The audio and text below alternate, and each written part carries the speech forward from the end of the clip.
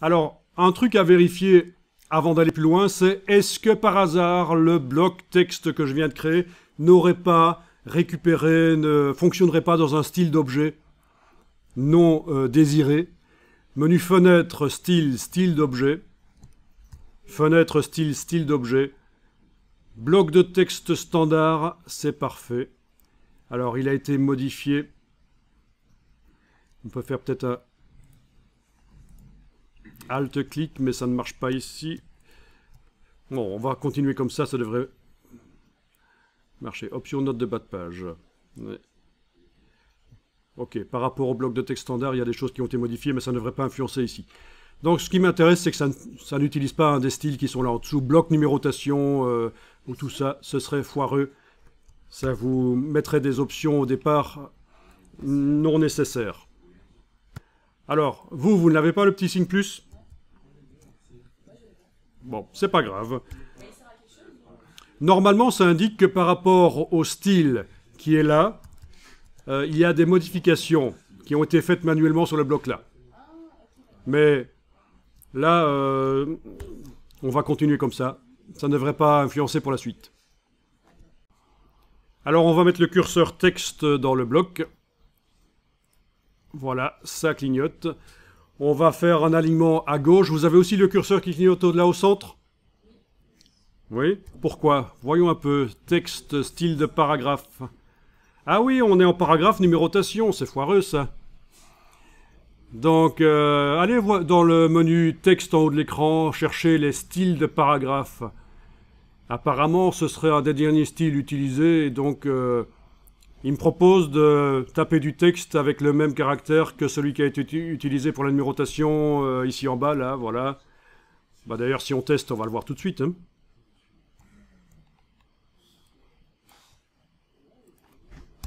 Oui, en effet, c'est de l'Arial Black, c'est pourri.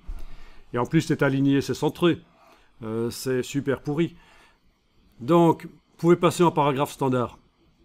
En ayant le curseur qui clignote là, passer en paragraphe standard, voilà. Et on est en alignement à gauche du coup, parfait.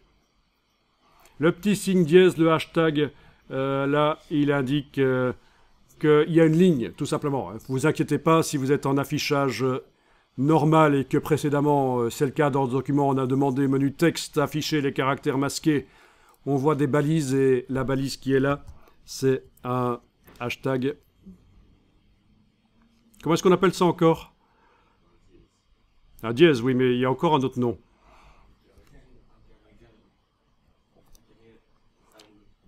Oui, non, il y a le terme euh, musical en anglais, je pense. Oui, mais en anglais. Oui, sharp, voilà, oui. Il y a, certains qui vont euh, appeler ça un signe sharp, euh, voilà, comme ça. Si jamais on vous parle du signe sharp, oui, parce que vous allez parfois avoir affaire à des directeurs artistiques, des directeurs de publicité qui vont essayer de vous mettre dedans en vous sortant un vocabulaire euh, à, moitié franglais euh, et avec des termes pour vous mettre dedans. Donc euh, soyez... Hein, on devrait faire un petit guide. Guide d'adaptation au directeur artistique foireux. Ouais. Ok. Donc, on va taper du texte là. Donc, ben, on peut commencer par exemple par le nom du magazine. Donc je vais vous laisser euh, choisir le nom du magazine. Tapez ce que vous voulez. Quoi? Alors pour la typo, on va voir après.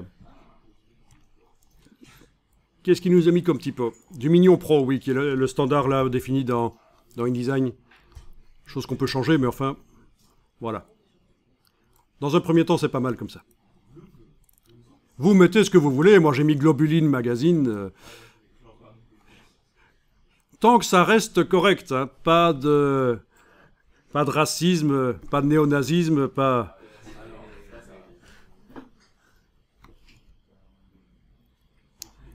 Alors voilà, on va faire maintenant quelque chose de particulier. On va insérer un caractère spécial qui a pour but de chasser le reste des lettres à droite.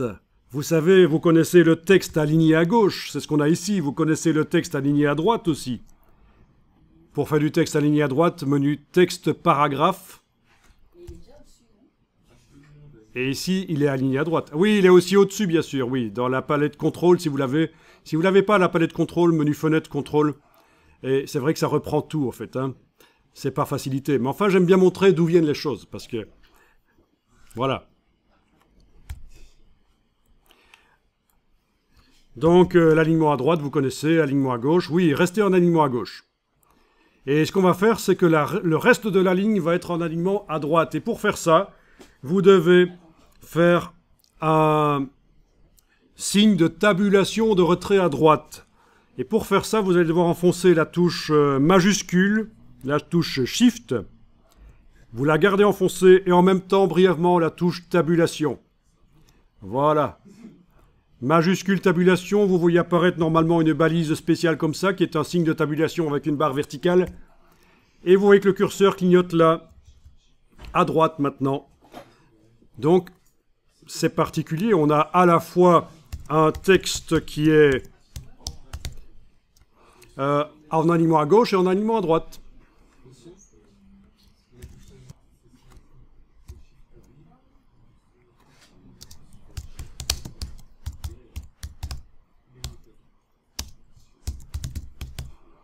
Voilà, un hors-série sur les globules blancs.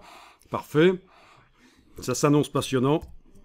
J'espère que ça se mange avec une bonne sauce, c'est toujours bon. Voilà. Alors, ça peut se sélectionner des balises comme ça.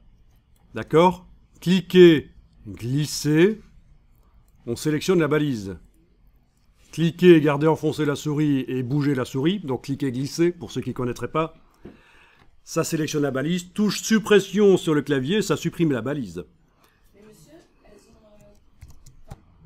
Alors, je vous montre ici qu'on a une possibilité de l'insérer par un menu contextuel. Vous avez le curseur qui clignote là. Vous faites un clic droit, à condition bien sûr que vous ayez fait ce que j'ai fait juste avant, supprimer la balise. Hmm? Sinon, si vous avez toujours votre balise, ça ne sert à rien. Donc, clic droit, insérer un caractère spécial, autre, tabulation de retrait à droite. Voilà, et vous avez le raccourci qui est indiqué là, majuscule tabulation. Donc ça, c'est la manière euh, différente de, par le menu contextuel d'insérer ça. Clic droit, insérer un caractère spécial autre, tabulation de retrait à droite. Et voilà, c'est le même principe. Alors on va enregistrer le document, il ne faudra pas perdre ça quand même, c'est superbe. Donc document 162. Allez-y, enregistrez aussi sous un autre nom.